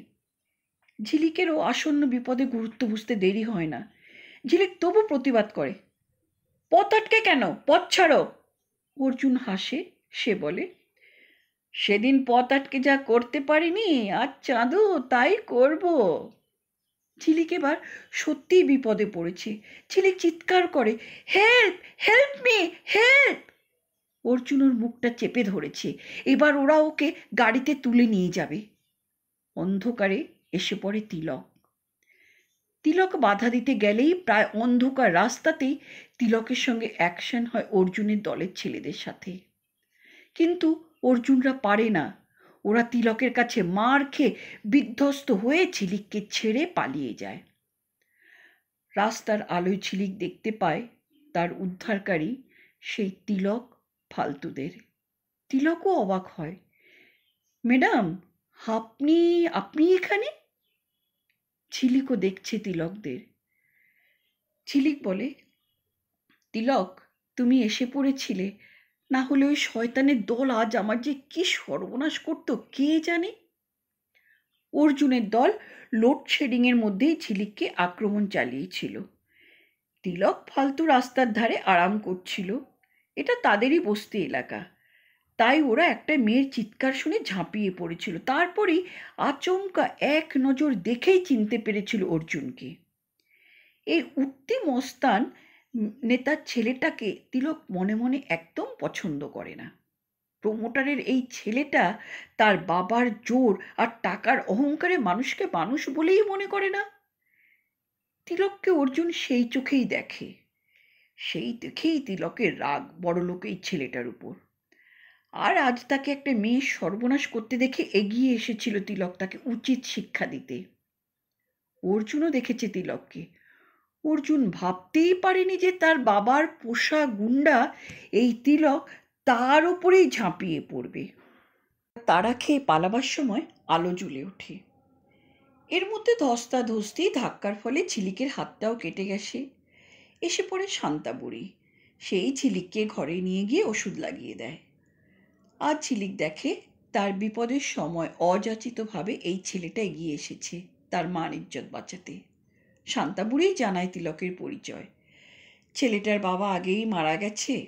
মাও তাকে ফেলে চলে গিয়েছে ট্রেনে করে কোথাও, আর ফেরেনি। ঝিলিক আর তিলকের কাছে কৃতজ্ঞ। সেই রাতে বাড়ি ফিরে ঝিলিক দেখে তখনও তার বাবা মা ফেরেনি। আয়াই এগিয়ে এসে ঝিলিকের হাতে ব্যান্ডেজ দেখে কি হয়েছে জানতে চায়। ঝিলিক তাকেও এড়িয়ে কিছু না জানিয়ে বলে, ও কিছু না, তুমি শুয়ে পড়ো। পরের দিন ঝিলিকের প্রচণ্ড জ্বর আসে। আয়া ঝিলিককে বলে, আমি সাহেব মিম সাহেবকে খবর দিয়েছি। ওরা পরে এসে দেখে যাবেন। তুমি উঠবে না, শুয়ে থাকবে, ডাক্তার ডাকতে হবে। আয়া গেছে ড্রয়িং রুমে। তখন মিস্টার সেন একজন বড় পার্টিকে নিয়ে বের হবে। ওদিকে মিসেস সেনও বলেন, আমার একটা জরুরি মিটিং আছে। নারী কল্যাণ সমিতি প্রচুর লোকজন আসবে। তারা খুব ব্যস্ত। আয়ার মুখে ঝিলিকের অসুস্থতার খবর পেয়ে মিস্টার সেন বলে, এখন তো টাইম নেই, বেরোতে হবে। মিসেস সেন বলে, আমারও জরুরি meeting. I am already late. আয়া, তুমি দরকার হলে ডাক্তারবাবুকে ফোন করে ডেকে এনো। ওরা বের হয়ে যায়। মেয়ের জন্য কোনো ভাবনাই তাদের নেই। ঝিলিক আয়ার মুখে সব শুনে বলে কেন গিয়েছিল ওদের কাছে আমার কথা বলতে? আমার কাউকে চাই না, কাউকে না। সে ফোন করে অনিমেষের বাড়িতে। তখন দশটা বাজে। অনিমেষ কোর্টে বের হয়ে গেছে। ফোনটা ধরে সুজাতা। ঝিলিকের এই কণ্ঠস্বর সুজাতার চেনা। ঝিলিক বলে, অনিমেষবাবু আছেন? ওনাকে একটু দিন না? সুজাতা জানায়, তিনি কোর্টে বের হয়ে গেছেন। হতাশ হয় ঝিলিক। তার পাশে কেউ নেই। সে একা। শান্তা বুড়ি তিলককে বলে, তুই একবার যা মেয়েটার খবর নিয়ে আয়। তিলক তখন বস্তির ছেলেদের পড়াচ্ছে, ফালতুও রয়েছে। তিলক বলে, মাসি, ওদের টাকার অভাব নেই, ওদের জন্য বহু লোক আছে। আমাদের মতো বস্তির ছেলেদের সাহায্য ওদের দরকার নেই, মাসি। ফালতু বলে, মেয়েটা বড় ভালো, গুরু। আর থাক থাক ধুমকে ওঠে তিলক সে বলে, আর বড় লোকের মেয়েদের কোনটা যে আসল রূপ, তা বোঝাই ভার। তো শান্তাবুড়ি বলে, যা হোক, তুই একবার যা, খবর নিয়ে আয়, না হলে অমঙ্গল হবে। মাসিমা বলে ডাকলো মেয়েটা, ওরে, সেই ডাকে যে কি পেয়েছি তা তো তোরা বুঝবি না। মানুষের মন, ভালোবাসার কাঙাল। তুই যা যা ঝিলিক ভাবেনি যে তিলক আসবে তার খোঁজ খবর নিতে। সে অবাক হয়, আবার খুব খুশিও হয় তিলককে দেখে। তুমি? তিলক, এত দামি আসবাব সাজানো ঘর কখনো দেখেনি, তাই বসতে ইতস্তুত করে। ঝিলিক বলে, কি হলো, বসো। তিলক বসে। ঝিলিক এর মধ্যে জেনেছে তার আক্রমণকারী কোনো বড়লোক নেতার ছেলে। বড়লোকদের সম্বন্ধে ঝিলিকের মনে একটা চাপা ঘৃণাই আছে। ঝিলিক দেখেছে তার বাবা মাকে তাদের কাছে অর্থই সব। আর এক বড়লোকের ছেলে টাকার দর্পে তারই সর্বনাশ করতে চেয়েছিল। আর সেই সর্বনাশ থেকে বাঁচাতে নিঃস্বার্থভাবে এগিয়ে এসেছিল পরিচয়হীন বস্তির এক যুবক। তিলক বলে, মাসিমাই পাঠালেন তোমার খবর নিতে। ঝিলিকের মনে পড়ে সেই রাতের এক স্নেহময়ী মুখ। বস্তির হত দরিদ্র এক মহিলা। তাকে স্নেহ ভরে পাশে বসিয়ে তার হাতে ওষুধ লাগিয়ে দিয়েছিল। ঠিক যেন মায়ের মতো। ঝিলিক বলে ভদ্রমহিলা খুব ভালো। তিলক বলে, সত্যি, না হলে আমিও তো অন্ধকারে হারিয়ে যেতাম। ঝিলিক দেখছে তিলককে। সে বলে, তিলক অন্ধকারে তুমি হারিয়ে যাবে না। তুমি ঠিক বের হয়ে আসবে, নতুন পরিচয় নিয়ে বাঁচবে। কি আলতু ফালতু বলছেন ম্যাডাম? তুমি মারদাঙ্গা মস্তানি না করে এত ভালো গান গাও, গানের চর্চা করো, বড় শিল্পী হবে তাহলে। তিলক হাসছে। সে বলে, বামন হয়ে চাঁদ ধরার স্বপ্ন দেখি না ম্যাডাম। ঝিলিক অবাক হয়। কেন? স্বপ্ন কি সত্যি হয় না? না, ম্যাডাম। এই অন্ধকার জগতে যে একবার পা দেয়, সে আর আলোর জগতে ফিরতে পারে না। আমাদের মা, বাবা, ঘর, আপনজন কেউ নেই। আমাদের ভালোভাবে বেঁচে থাকারও অধিকার নেই। কেন নেই? নিশ্চয়ই আছে। সে খুব শক্ত কাজ, ম্যাডাম। না না, বাঁচতে তোমাকে হবেই তিলক। তোমার সেই বাঁচার লড়াইয়ে আমি তোমার পাশে থাকব। ঝিলিক উঠে যায়, কাঠের পাল্লা খুলে একটা গিটার বার করে আনে। গিটারটা নিয়ে এসে ঝিলিক বলে, এটা রাখো, এখন থেকে গান বাজনার চর্চা করা চাই। তার জন্যে মাস্টার দেখো যে তোমাকে তালিম দেবেন। তিলক গিটার হাতে সুর তোলে। তিলক বলে, মাসিও তো তাই চায়, ম্যাডাম। কিন্তু তুমি নিজেকে তৈরি করো তিলক। এভাবে তোমাকে নষ্ট হয়ে যেতে দেব না। তুমি সত্যিকারের শিল্পী হবে। তিলকের মনেও যেন কোনো এক আশা পূরণের স্বপ্ন উঁকি মারে। অনিমেষের কয়েকদিন কাজ নিয়েই কেটেছে। কয়েকদিন দেখা হয়নি ঝিলিকের সঙ্গে। মেয়ের কাছে শুনেছিল যে সে ফোন করেছিল। তাই অনিমেষ আজ কোর্ট থেকে বের হয়ে সোজা আসে ঝিলিকের বাড়িতে। ঝিলিক বাড়িতেই রয়েছে। অনিমেষ বলে, কি ব্যাপার? শুনলাম জ্বর। হাতে কি হয়েছে? যাক, তবু আসার সময় হলো তোমার। অনিমেষ ওর অভিমান ভরা কণ্ঠস্বর শুনে বলে, আরে জানোই তো আমার প্রফেশনটা এত মামলা, এত কাজ। তোমরা সবাই একরকম, তোমরা কাজটাকেই বেশি ভালোবাসো। তাহলে এলে কেন কাজ ফেলে? যাও, কাজই করতে যাও। অনিমেষ ওর কথায় হেসে ফেলে। রাগ করেছে ঝিলিক। বলে, রাগ করুন আমার উপর। ঠিক আছে, কদিন না আসার জন্য ক্ষমা চাইছি। এখন থেকে তাহলে রোজ আসবে? ঠিক আছে বাবা, ঠিক আছে। এবার ঝিলিকও ছোট্ট মেয়ের মতো অনিমেষের বুকে মুখ রেখে বলে জানো, সেই শয়তানগুলো না আবার আমাকে অ্যাটাক করেছিল। সে কি? অনিমেষ ছিলিকের এই কথাতে যত না অবাক হয়েছে, তার চেয়ে বেশি অবাক হয়েছে ওর বুকে ঝিলিকের মাথা রাখায়।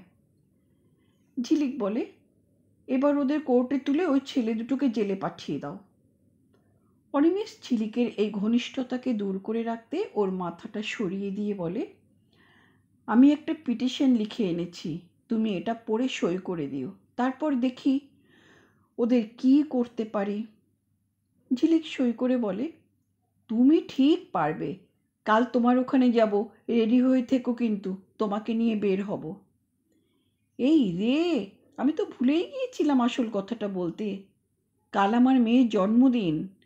আমাদের ঘনিষ্ঠ কয়েকজনকে বলেছি। তুমিও যাবে কিন্তু ছিলে কাল সন্ধেটা আমার বাড়িতেই হইচই করা যাবে। কি, আসবে তো? ঝিলিক বলে, শিওর। অনিমেষের একমাত্র মেয়ে সুজাতার জন্মদিন উপলক্ষে বাড়িতে কয়েকজন আত্মীয় বন্ধুকে ডেকেছেন অনিমেষ। ঝিলিকও এসেছে। ঝিলিক আজ খুব সুন্দর করে সেজেছে। সুজাতার সঙ্গে ঝিলিকে পরিচয় করিয়ে দেয় অনিমেষ। অনিমেষ বলে, সুজাতা এই ঝিলিক সেন আমার ক্লায়েন্ট। ঝিলিক এই আমার মেয়ে সুজাতা, এখন এম করছে। ঝিলিক হাত বাড়িয়ে দেয় glad to meet you Sujata okay thanks জানায়। সুজাতা দেখছে ঝিলিক তার বাবা অনিমেষের সঙ্গে একজন বন্ধুর মতো বেশ খোলা মেলাভাবে কথা বলছে। সুজাতার এটা ভালো লাগে না। সুজাতা এর আগে ঝিলিক সম্বন্ধে একটা ধারণা করে নিয়েছে। আর ঝিলিককে জিজ্ঞেস করে, বাবাকে কতদিন ধরে চেনেন? ঝিলিকও দেখছে সুজাতাকে। ঝিলিক যেন ওর এই ধারণাটাকে ভেঙেই দিতে চায়। তাই বলে, অনেক দিন থেকেই সুজাতার ভালো লাগে না উত্তরটা। সুজাতা আবার জানতে চায়, বাবার সঙ্গে কীভাবে পরিচয় হলো? ঝিলিক এবার মজা করল। সেটা তোমার বাবাকেই জিজ্ঞেস করো। সুজাতা গুম মেরে যায়। তার কাছ থেকে সরে যায়। ঝিলিকের এই কথায় যে সুজাতা খুব একটা খুশি হয়নি, তা ওর চোখ মুখ দেখেই বুঝতে পারে। ওদিকে জন্মদিনের কেক কাটা শুরু হচ্ছে। সব জন্মদিনের অতিথিরা সুজাতাকে ঘিরে ধরেছে। মোমবাতিগুলো নিভিয়ে সুজাতা কেক কাটে আর কেকের একটা টুকরো প্রথম তার বাবার মুখেই তুলে দেয়। ঝিলিক দেখছে। তার বাড়িতে এসব উৎসব করবার সময় নেই তার বাবা মায়ের কাছে। কোনো এক বেদনায় ঝিলিকের চোখ দুটো ঝাপসা হয়ে ওঠে। সুজাতা সেদিক থেকে অনেক ভাগ্যবান। ওর বাবা তার জন্মদিনের উৎসব পালন করছে। এরপর হারমোনিয়াম বাজিয়ে সুজাতা গান গাইল।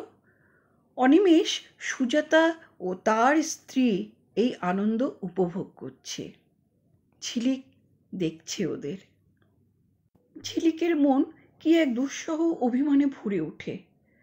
তাদের মিলন উৎসবে নাচ গানে সবাই অংশগ্রহণ করেছে, শুধু ঝিলিকই এর ব্যতিক্রম। প্রচণ্ড অভিমানে ঝিলিক বের হয়ে আসে সেই পার্টি থেকে। অনিমেষ ওকে বের হয়ে যেতে দেখে বলে, ঝিলিক, কোথায় যাচ্ছ? না খেয়ে যাচ্ছ যে? ঝিলিক ঝিলিক! ঝিলিক পেছন ফিরেও চায় না। অনিমেষের ডাকে সাড়াও দেয় না। আজকের এই আনন্দ উৎসবে ঝিলিক আজ না খেয়েই পার্টি থেকে বের হয়ে যায়। অনিমেষ এগিয়ে এসে অনুরোধ করে, তবু তার কথাতেও ঝিলিক কর্ণপাত করে না। ও চলে যায়। সুজাতা দেখল তার বাবার অসহায় অবস্থাটা। ঝিলিক বাড়িতে এসে নিজের ঘরে ঢোকে। সুজাতা সেই প্রশ্নগুলো ঝিলিককে যেন তাতিয়ে তুলেছিল। ঝিলিক সুজাতার রহস্যময় কথার জবাব দিয়ে তাকে জানাতে চেয়েছিল যে অনিমেষের ওপর ঝিলিকের একটা অধিকার আছে। কিন্তু অনিমেষ সকলের সামনে যেন ঝিলিকের সেই স্বপ্নটাকে শেষ করে দিয়েছে। সে তার মেয়ের জন্মদিনে তার পরিবারকে নিয়ে একটা গান গাইল, অথচ ঝিলিককে একবারের জন্যও গাইতে ডাকল না। ঝিলিকের কি তার উপর কোনো অধিকার নেই? তাহলে কি অনিমেষ এতদিন যেসব কথা বলে ঝিলিককে আশ্বস্ত করেছিল, সেগুলো সব মিথ্যে কথা? ঝিলিকের চোখ পড়ে টেবিলের ওপর রাখা অনিমেষের একটা ছবির দিকে। ওই ছবিটা ঝিলিক তুলেছিল একটা পার্কে। ঝিলিক রাগে, অভিমানে সেই ছবিটা মেঝেতে আছড়ে ফেলে। ঝিলিকের সব থেকেও কিছুই নেই। ও অসহায় কান্নায় ভেঙে পড়ে। মিলনবাবু এতদিন দাপটের সঙ্গেই এই এলাকায় রাজত্ব করে এসেছে। তার হুকুম মতোই এখানকার সরকারি মহলের কাজও হয়েছে। এতদিন ধরে মিলনবাবু প্রচুর টাকা রোজগারও করেছে। আর যে তার বিরুদ্ধে দাঁড়িয়েছে, তাকে হয় সরিয়ে দিয়েছে, না হয় তার মুখ বন্ধ করে দিয়েছে। তাই তার বিরুদ্ধে কেউ কোনো কথা বলতে সাহস পায় না। সেই মিলনবাবুর ছেলে অর্জুনও বাবার পথেই চলেছে। সে এখন এদিকে বড় বড় ফ্ল্যাট তৈরি করছে। তৈরি করছে মার্কেট, কমপ্লেক্স। এখানে, ওখানে যেসব জায়গা পড়েছিল, অর্জুন তাদের ধমকে না হয় নানা কেসে ফেলে বিব্রত করে। না হয় জবরদখল করে নিজের দখল এনে ওই সব জায়গায় বড় বড় ফ্ল্যাট গড়ে তুলে সেই সব ফ্ল্যাট বিক্রি করে চলেছে। কেউ তাদের বাবা ছেলের এই অন্যায় অত্যাচারের বিরুদ্ধে রুখে দাঁড়াবার সাহস পায় না। সে প্রবল প্রতাপশালী মিলনবাবুর ছেলের নামে একটা মেয়ে কোর্টে একেবারে স্থিলতাহানি করার অভিযোগ এনে অর্জুনকে বিপদে ফেলেছে। মিলনবাবু নিজেই যান থানায়। থানার ওসি ওনাকে খাতির করে বসায়। মিলনবাবু বলে, এ কেসটা পাল্টাতে পারলে না মেয়েটা একটা লুজ ক্যারেক্টার বলে ধরে এনে হাজতে পড়ো। স্যার, মেয়েটার বাবা একজন বড় শিল্পপতি, বনেদি নামী পরিবার। তাছাড়া এই কেসটা লুটছেন একজন নামী উকিল। আমি তো ওদের হটিয়ে দিতেই চেয়েছিলাম। ওরা গিয়ে পুলিশ কমিশনারকে ধরে এসব করেছে। আমার করার কিছু ছিল না, স্যার। মিলনবাবুও বুঝেছেন, কোর্টে যেতেই হবে। তবে তিনি হাল ছাড়েননি। ভালো কথায় না হলে অন্য পথের আশ্রয় নিতেই হবে। তাই নেতা তার ছেলেকে বলে, ওই মেয়েটার খোঁজ কর। ওকে যদি রাজি করাতে পারিস, তাহলে কেসটা মিটে যাবে। দরকার হলে মাথা না হয় একটু নিচুই করবি। ওই কাগজওয়ালারা, টিভিওয়ালারা যদি জানতে পারে না, তাহলে কিন্তু বিপদের আর শেষ থাকবে না। অর্জুন তার চেলা গজুকে নিয়ে সেই রাতে ছিলিকের গাড়ি ফলো করেছিল। কিন্তু মেয়েটা ওদেরকে দেখলেই রেগে ওঠে। আর অর্জুনও মাথা ঠিক রাখতে না পেরে সেই পথেই সেই রাত্রে তারা অপেক্ষা করছিল, ওকে তুলে নিয়ে যাওয়ার জন্য। আর তখনই বাবার পোষা মস্তান তিলক তাদের উপর ঝাঁপিয়ে পড়ে মেয়েটাকে রক্ষা করে। এরপর আহত অবস্থায় অর্জুনকে ফিরতে দেখে মিলনবাবু অবাক হয়। এসব কি? ওই সেই মেয়েটার সঙ্গে কথা বলার জন্য ওর গাড়ি ফলো করছিলাম? আর তোমার ওই তিলক তার দলবল নিয়ে এসে আমাদের উপর অ্যাটাক করল। পালিয়ে না হলে তো শেষই করে দিত। মিলনবাবু রেগে ওঠে। শালার এত বড় রোয়াব! তিলক এসব করেছে? তোকেও মেরেছে? বেটা তিলকের তো দেখছি মরার জন্য পালক গজিয়েছে। অর্জুনের চেলা গজুও চায় তিলককে হটিয়ে মিলনবাবুর আরও কাছের লোক হতে, তাতে তারই সুবিধে। তাই গজু বলে, বলুন স্যার, একবার অর্ডার দিন, ওই তিলকের পালক ছেঁটে দিই। মিলনবাবুও ভাবছেন, ইদানিং সব কেমন যেন বদলে যাচ্ছে। মিলনবাবু বলে, পথ থেকে তুলে এনে কাজ দিলাম, টাকা দিলাম দু দুটো পুলিশ কেস থেকে বাঁচালাম না হলে তো জেলেই পচে মরত। আর সেই ব্যাটা কিনা এইভাবে বেইমানি করল আমার সঙ্গে? ওই একটা মেয়ের জন্য? অর্জুন বলে, তুমি চুপ করে থাকতে পারো, তবে আমি কিন্তু চুপ করে থাকব না। এই তিলকের বাচ্চাটাকে আমি হাফিজ করেই দেব। গজু বলে, তুমি আমাকে অর্ডার দাও গুরু, আমি তিলককে ফিনিশ করে দেব। মিলনবাবু চেনে ওদের। ওই অর্জুন এক নম্বর গুয়ার। একটা মেয়েকে সামলাতে পারে না। মিলনবাবু বলে, তিলকের ব্যাপারটা আমিই ভেবে চিনতে দেখব। আগে এই কেসটা থেকে বের হই, তারপর যা হয় একটা করা যাবে। তিলক এখন মন দিয়ে রেওয়াজ করছে। একজন টিচারের কাছে গানও শিখছে তিলক। বাড়িতেও রেওয়াজ করছে। শান্তা বুড়িও খুব খুশি হয়েছে তিলকের গান চর্চার ব্যাপারে উৎসাহ দেখে। বলে তুই মন দিয়ে গানের চর্চা করে যা, তিলক, আর সব মারপিটে বা ছেড়ে দে, হতবাগা।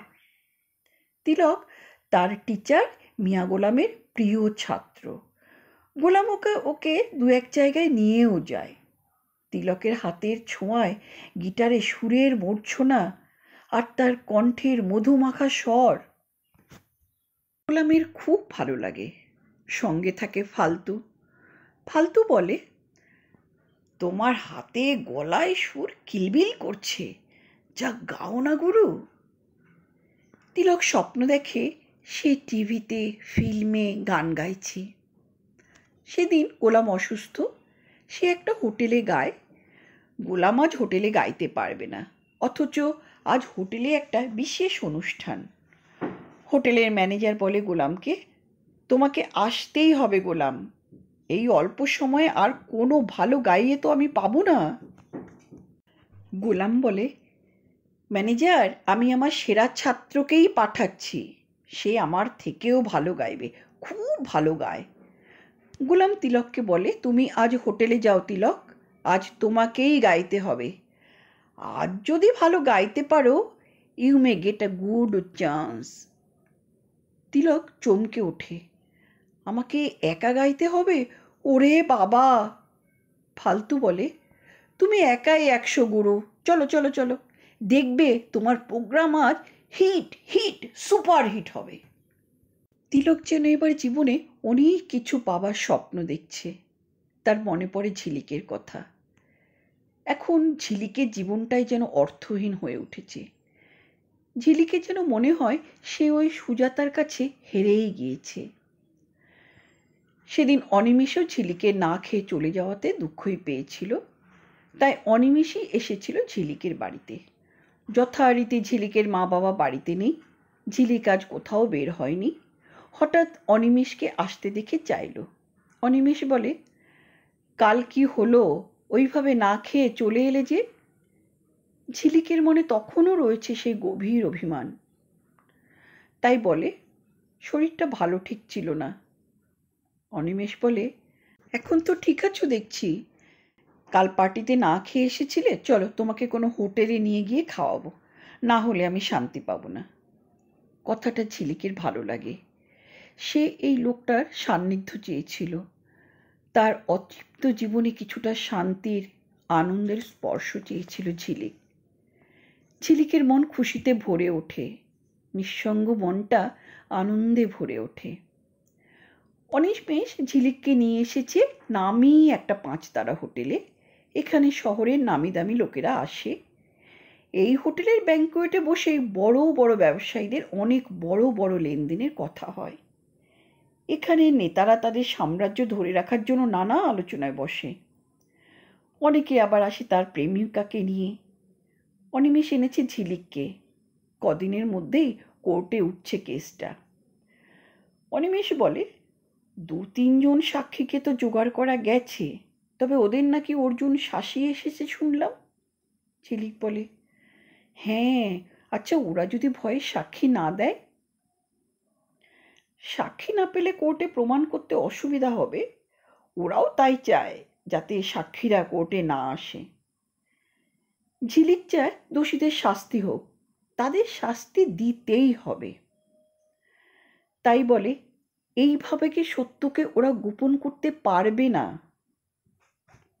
অনিমেষ বলে, ওরা এই করেই তো সমাজের মাথায় উঠেছে।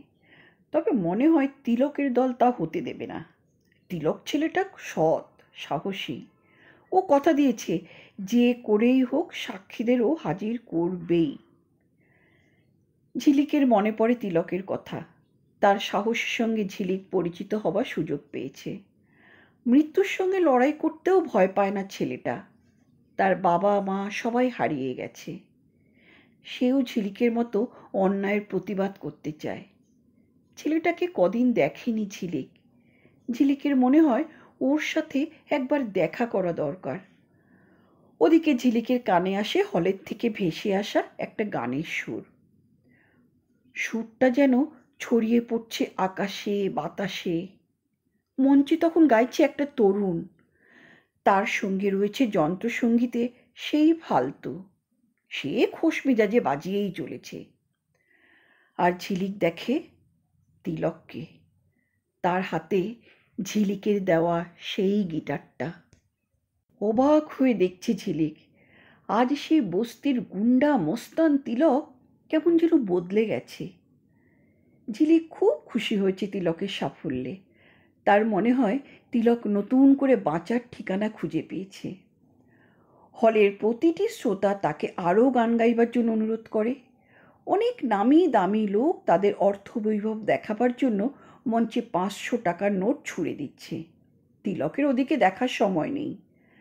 তবে এসব দৃশ্য বেশ খুশি মনে দেখছে ফালতু। আর তাই দেখে তার বাজানোর উৎসাহ জোরদার হয়ে উঠেছে। রাত হয়েছে ঝিলিক ভেবেছিল অনুষ্ঠানের শেষে তিলককে সে অভিনন্দন জানাবে। কিন্তু ওর অনুরোধের চাহিদা যা বাড়ছে, তাতেই অনুষ্ঠান শেষ হতে বোধহয় রাত কাবার হয়ে যাবে। ওদিকে অনিমেষকে বাড়ি ফিরতে হবে। অনিমেষ বলে, চলো ঝিলিক, তোমাকে পৌঁছে দিই, রাত হয়েছে। অনিচ্ছা সত্ত্বেও ঝিলিক বের হয়ে আসে হোটেল থেকে। সে তিলকের সঙ্গে কথাও বলতে পারে না। অনিমেষ বলে ওকে বলো যেন সাক্ষীদের ঠিকমতো হাজির করে। এখন চলো, ওঠা যাক। অনিমেষ ছিলিককে নিয়ে বের হয়ে আসে। ওকে পৌঁছো দিয়ে অনিমেষ যখন নিজের বাড়ি ফেরে, তখন রাত প্রায় দুটো। সারা বাড়ি নিস্তব্ধ। সাবিত্রী দিন ভোর সংসারে কাজে নিয়েই ব্যস্ত। তারপর নিজের দুবেলা পুজো অর্চনার কাজ আছে। সাবিত্রী তাই ঘুমে মগ্ন।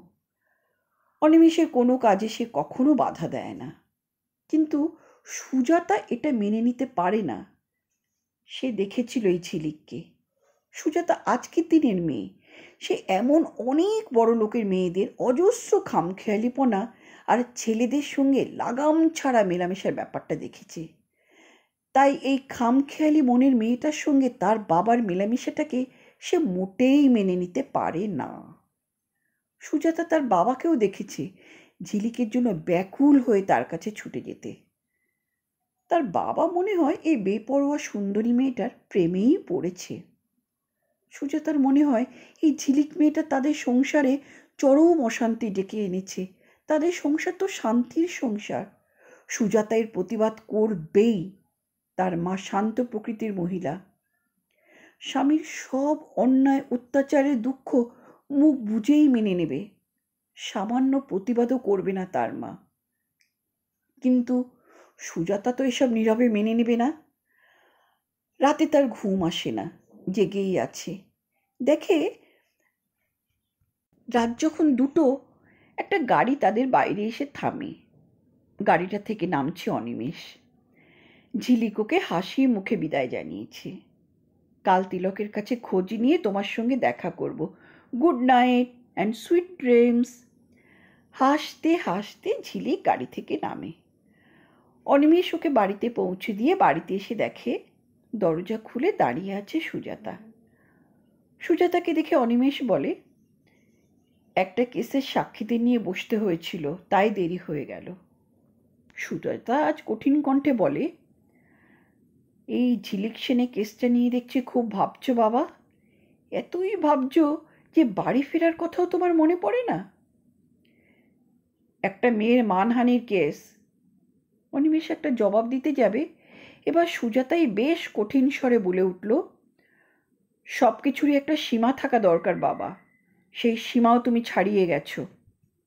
অনিমিষ চাইল মেয়ের দিকে। সে বলে, কি বলতে চাস তুই? সুজাতা এবার কঠিনভাবে বলে, কি বলতে চাই আশা করি সেটা তোমার বুঝতে অসুবিধা হচ্ছে না। আমিও একটা মেয়ে। কথাগুলো অনিমেষের মুখের উপর ছুঁড়ে দিয়ে দরজা বন্ধ করে ভেতরে চলেও যায় সুজাতা। অনিমেষ চুপ করে দাঁড়িয়ে থাকে। আজ তার মনে হয় এই ঝিলিকের জন্য তাকে কাঠগড়ায় দাঁড় করিয়েছে তার মেয়ে। নিজের উপর ঘৃণা আসে অনিমেষের। মনে হয় সে যেন একটা ভুল কাজই করেছে। ঝিলিকের এই গায়ে পড়া ভাবটা আজ অনিমেষের মনে একটা নতুন প্রশ্ন আনে।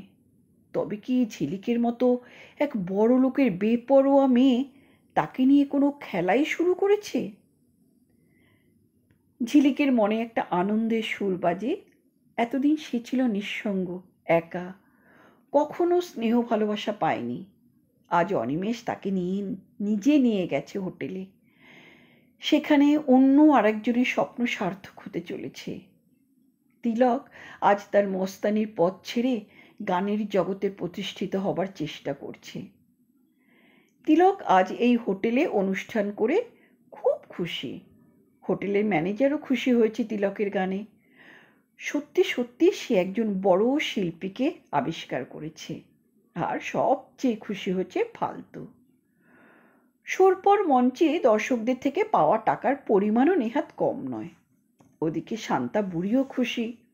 ফালতু বলে গুরু, এ সব তোমার। তারপর টাকা সবটা ওর হাতে তুলে দেয়, তা প্রায় হাজার পাঁচেক টাকা। তিলক সব টাকাগুলো মাসির কাছে দিয়ে বলে, মাসি, আমার প্রথম কামাই সব তোমার। শান্তাবুড়ি চমকে ওঠে, আরে, এত টাকা নিয়ে আমি কি করব? এসব তুই রাখ। খেতে পড়তে পারলেই আমি খুশি থাকব রে হতভাগা, এটা তুই রাখ। এমন সময় এসে পড়ে ঝিলিকের গাড়িটা। ঝিলিকও দেখছে তিলক টাকাগুলো তুলে দিচ্ছে মাসির হাতে। তিলক ওকে দেখে বলে, এসো ম্যাডাম। ঝিলিক বলে, তোমাকে শুভেচ্ছা জানাতে এসেছি তিলক। কাল হোটেলে তোমার গান শুনেছি। দারুণ গেয়েছো তুমি। তবে এইখানে কিন্তু আটকে থাকলে চলবে না। তোমাকে অনেক দূর যেতে হবে। তিলক হাসে। আমাদের ভাগ্য এইখানেই আটকে থাকবে, ম্যাডাম। ফালতু বলে।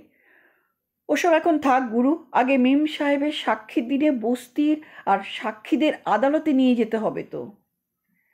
তিলকের মনে পড়ে কথাটা। তাই তো? ফালতু বলে। ম্যাডাম, বস যখন কথা দিয়েছে, তখন ওদের তুলে নিয়ে যাবই কোর্টে। তুমি বেফিকার থাকো। যে তোমার গায়ে হাত তুলেছে গুরু তাদের সাজা দেবেই। ওদিকে মিলনবাবুও বসে নেই। তার পুত্র অর্জুনও বুঝেছে এই কেসে, বিশেষ করে নারী নিগ্রহের কেসে কোনো সাক্ষ্য প্রমাণ যদি হাজির করতে পারে, তাহলে তার সাজা হবেই। অর্জুন স্বপ্ন দেখেছিল এই প্রমোটারি ব্যবসার সঙ্গে সঙ্গে তার বাবা ভোটে জিতে এমএলএ হতে পারলে তার ব্যবসা আরও ভালো চলবে। আর বাবা যা করতে পারেনি, অর্জুন তাই হতে চায়। ভোটে যখন অর্জুন জিতবে, তখন একটা মন্ত্রীর পদ সে ঠিক ম্যানেজ করে নিতে পারবে। কিন্তু অর্জুনের মনে হয়, এই মেয়েটা অর্জুনের সেই স্বপ্নকে কি সত্যি হতে দেবে?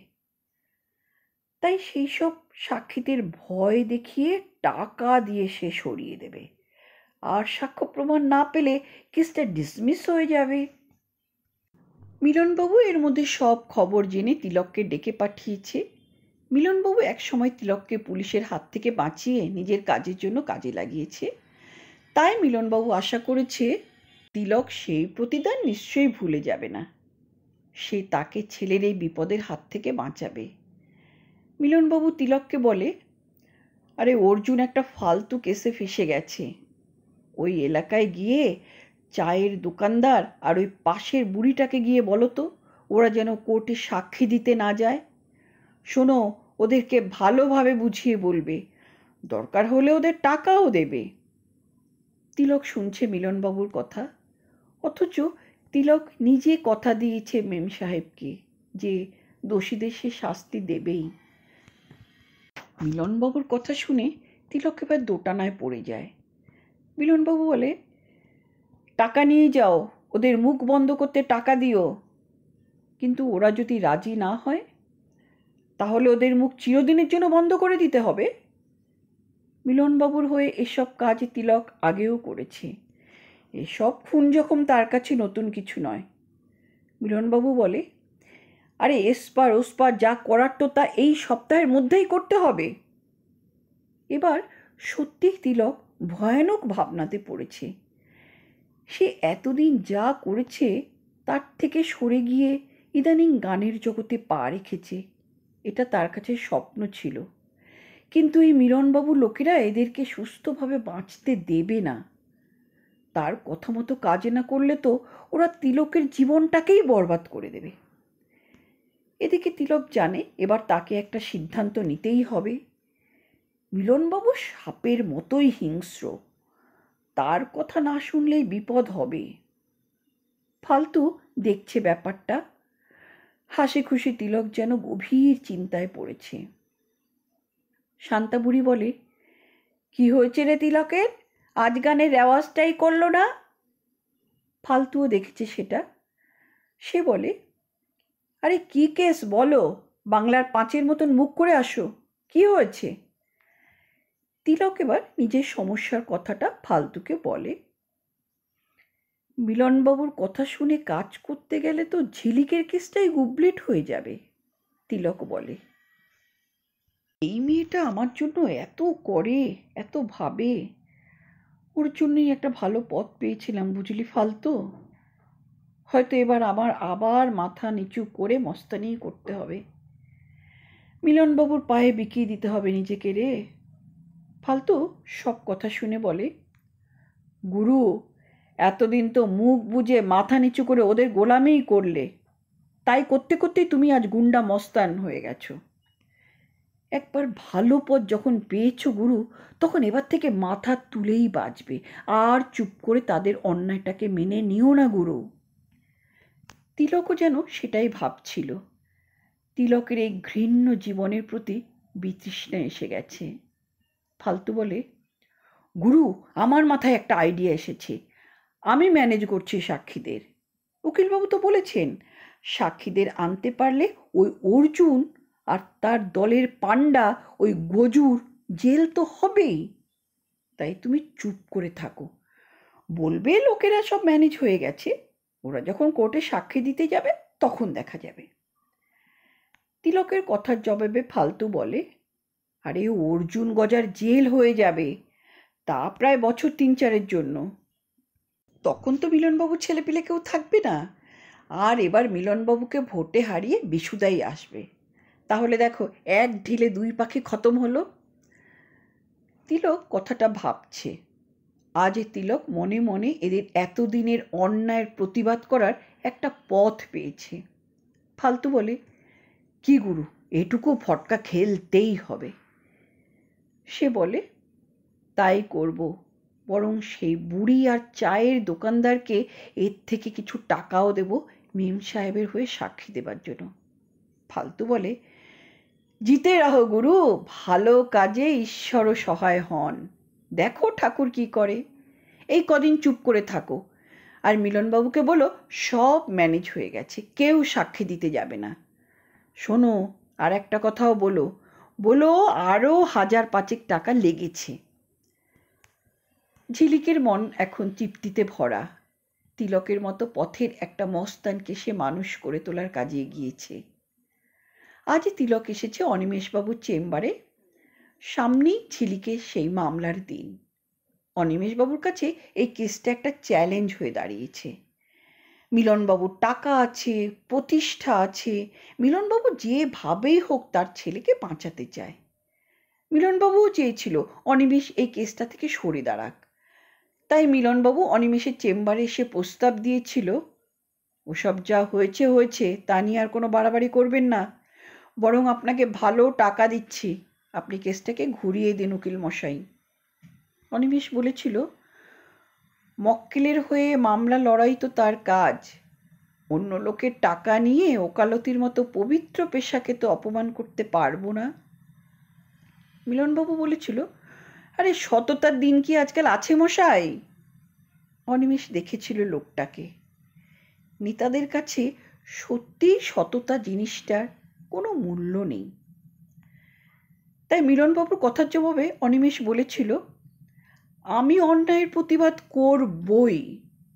মিলনবাবু হতাশ মনে ফিরে যায়। কিন্তু মিলনবাবু বসে নেই। তাই তিলককে দিয়ে সাক্ষীদের মুখ বন্ধ করার ব্যবস্থাটা করেছে। তিলক বলে, সাক্ষীরা মুখ বন্ধ করেছে মিলনদা।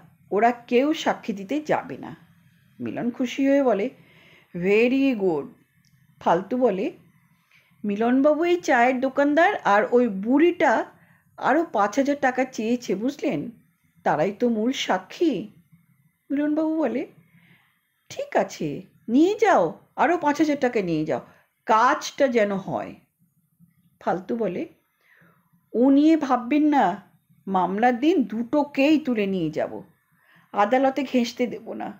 ব্যাস, মামলা খারিজ। ঝিলিক এসেছে অনিমেষের কাছে। অনিমেষ বলে, ঝিলিক, মিলনবাবু তো নানাভাবে এই কেসটাকে কেঁচিয়ে দেবার চেষ্টা করছে।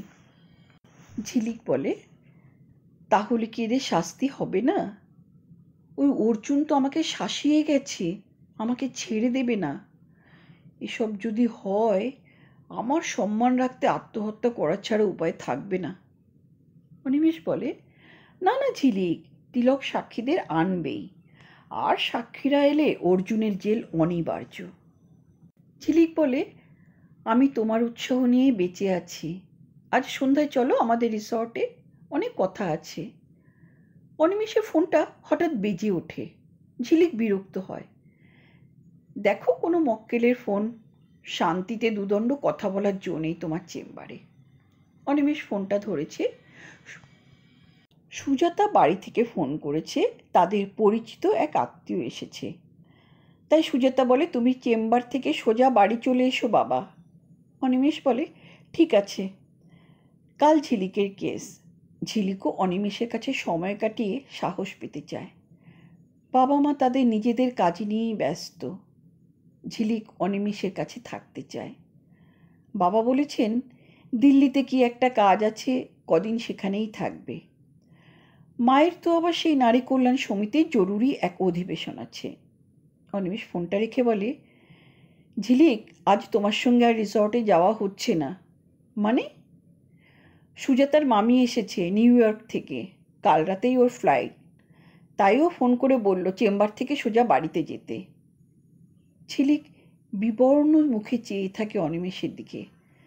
তার সব অধিকার যেন পদে পদে কেড়ে নিচ্ছে। অনিমেষের মেয়ে সুজাতা। অনিমেষ বলে, আরে তুমি ভেবো না, আমি কাল আগেই কোর্টে পৌঁছে যাব।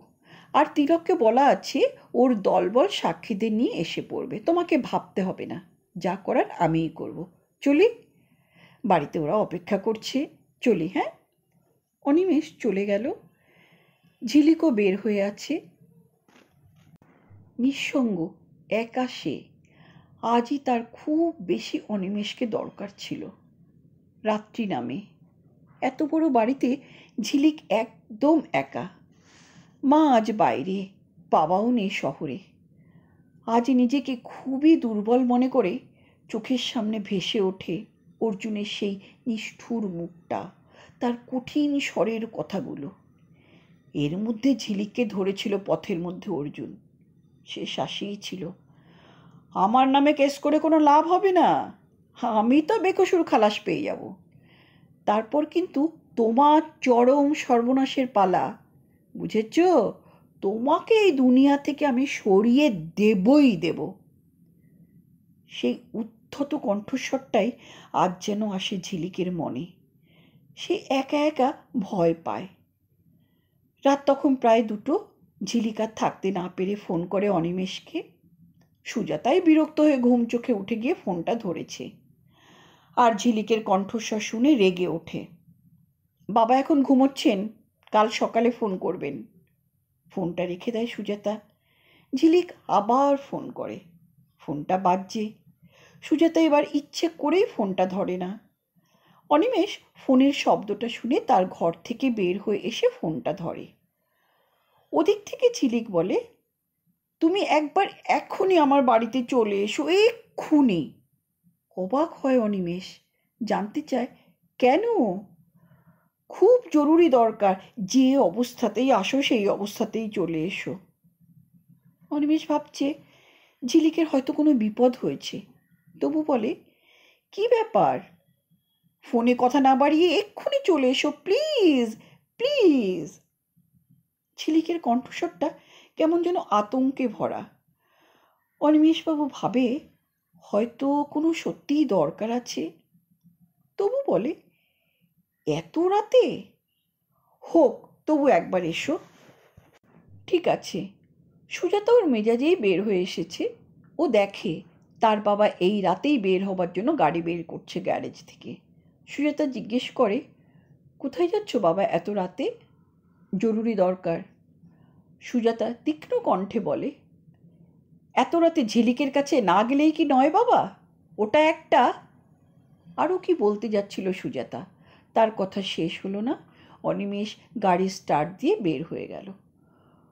তবু অনিমেষ সুজাতার ওই কথার ইঙ্গিতটা বুঝেছে। অনিমেষ এখন শুধুমাত্র ঝিলিকের বিপদের কথা শুনে ছুটে চলেছে।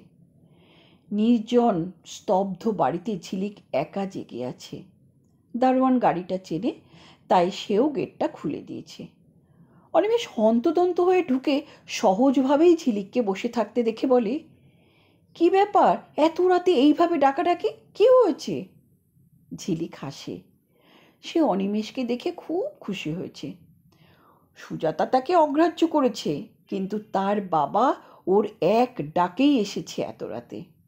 ঝিলিক হালকা স্বরে ওর হাত ধরে বলে আগে বসো। অনিমেষকে বসিয়ে ওর পাশে চিলি ঘনিষ্ঠ হয়ে বসে বলে, বাড়িতে বাবা, মা কেউ নেই। এত বড় বাড়িতে আমি একা। বারবার তোমার কথাই মনে পড়ছিল। তোমাকে দেখতে চাইছিলাম। তোমাকে পাশে পেতে চাইছিলাম। তাই এবার চটে ওঠে অনিমেষ। অনিমেষের মনে হয় এ যেন বড় লোকের মেয়ের খামখেয়ালি পনাই অনিমেষের সুজাতার কথাগুলো মনে পড়ে। ঝিলিক যেন তাকে খেলার পুতুল ভেবে চরম অধপতনে পথে টেনে নিয়ে যেতে চায়। অনিমেষ এবার আর নিজেকে সামলাতে পারে না। ঝিলিকের এই ব্যবহারে অনিমেষের মাথা ঠিক থাকে না। অনিমেষ সপাটে ঝিলিকের গালে একটা থাপ্পড় কষিয়ে বলে, তোমাকে চিনতে পারলাম। তোমার বিপদ ভেবে তোমাকে একজন মানুষের মতো সাহায্য করতে এসেছিলাম। কিন্তু তুমি যে সত্যি এত নির্লজ্জ, এত ইতর এত নিজ তা কখনো ভাবিনি। চোর খেয়ে চমকে উঠে ঝিলিক। আর্তকণ্ঠে বলে, তুমি আমাকে মারলে? তোমাকে মারাই উচিত। একটা ইতর নিচ তোমাকে আমি ঘৃণা করি। আমাকে আর কোনো দিনও ফোন করবে না। ঘর থেকে বের হয়ে গিয়ে গাড়িতে উঠে স্টার্ট দিয়ে বের হয়ে যায় অনিমেষ। ঝিলিক স্তব্ধ পাথরের মূর্তির মতো দাঁড়িয়ে থাকে। সকালে দিন কাটে অনিমেষের কোর্টে। আজ সে উকিল হিসেবে ঝিলিকের মামলা লড়ছে। এটা তার কর্তব্য। সেই চায়ের দোকানের মালিক, সেই বুড়ি, আরও দুজনকে সাক্ষী হিসেবে এনেছে কোর্টে তিলক। ওদের দেখে চমকে ওঠে মিলনবাবু। অর্জুন তখন আসামির কাঠগোড়ায়। অনিমেষ একজন দুঁদে উকিল। সে তখন সাক্ষীদের দিয়ে অর্জুনের গুন্ডামি শনাক্ত করিয়ে কড়াভাবে সওয়াল করে চলেছে। মিলনবাবুর উকিল সাক্ষীদের দু একটা কথা জিজ্ঞাসা করে, কিন্তু সাক্ষীরা ওই অর্জুন আর গজুকেই শনাক্ত করে। এদিকে মিলনবাবু প্রমাদ গুনছে, পুলিশের বেষ্টনীতে রয়েছে অর্জুন, গজু। এবার তাদের যে শাস্তি হবেই, সেটা তারাও বুঝে চুপসে গেছে। অর্জুন যে শেষ পর্যন্ত প্রমাণিত হয়ে যাবে সেটা ভাবেনি। তিলকও যে তার সঙ্গে এরকম বেইমানি করবে, সেটাও কল্পনা করেননি খোদ মিলনবাবু। বিজয়ীর মতো ফিরছে অনিমেষ। আজ এই কেসের রেজাল্ট হয়ে গেছে। অর্জুন আর গজুর সাত বছর সশ্রম কারাদণ্ডের আদেশ হয়েছে। অনিমেষ খুব খুশি। তবু বলে, তিলক, ঝিলিক তো এলো না? তার বাড়িতে সুখবরটা তুমিই দিয়ে এসো। হঠাৎ এমন সময় ফোনটা বেজে ওঠে অনিমেষের চেম্বারে। অনিমেষ ফোনটা ধরেই চমকে ওঠে। তিলক বলে, আপনার কী হলো, স্যার? অনিমেষ বলে, ঝিলিকের বাবার ফোন। চলো একবার ওদের বাড়িতে যেতে হবে। ওরা গাড়িতেই বের হয়ে পড়ে। বড় রাস্তায় তখন লোকজনের ভিড়। অদ্ভুত এক স্তব্ধতা বিরাজ করছে ওদের বাড়ির চারপাশে। অনিমেষ ওপরে উঠতে যাবে, ভেতর থেকে ডাকে ঝিলিকের বাবা, বলে, আপনি অনিমেষবাবু অ্যাডভোকেট? হ্যাঁ। মিস্টার সেন বলেন, ঝিলিক আজ ভোরেই সুইসাইড করার জন্য বিষ খেয়েছিল। চমকে ওঠে অনিমেষ। আর তো আর্তকণ্ঠে জানতে চায়, তারপর? মিস্টার সেন বলেন ওকে খারাপ কন্ডিশনে নার্সিংহোমে পাঠানো হয়েছে। ওর টেবিলে আপনার নামে এই চিঠিখানা ছিল। অনিমেষ চিঠিখানা পড়তে যাবে, ঝিলিকের মুখটা ওর চোখের সামনে ভেসে ওঠে। সংসারে বাবা মায়ের সাহচর্য, স্নেহ, ভালোবাসা কোনোদিন পায়নি সে। তার হৃদয় ছিল পিতৃস্নেহে কাঙাল। তাই অনিমেষকে তার পাশে পেয়ে সে যেন তার অতৃপ্ত পিতৃস্নেহেরই স্পর্শ পেয়েছিল। তাকে সে বাবার আসনে বসিয়ে আদরিনী মেয়ের মতোই পাশে পেতে চেয়েছিল, তাই থেকে জ্বালাতনও করেছিল। কিন্তু সেই রাতে অনিমেষ তাকে ভুল বুঝে চর মেরে তাকে অনেক অসম্মানজনক কথা বলেছিল। ঝিলিক সব হারিয়ে এই চরম অপমান সহ্য করে বাচ্চার আর ইচ্ছেটাই খুঁজে পাচ্ছিল না। তাই সে চলে যাচ্ছে এই স্নেহশীল সমাজ, এই পৃথিবী ছেড়ে। চমকে ওঠে অনিমেষ। কেমন আছে ঝিরিক, মিস্টার সেন? ওর সর্বনাশের জন্য আমি দায়ী, আপনি দায়ী, আমরা সবাই দায়ী, তাকে বাঁচাতেই হবে।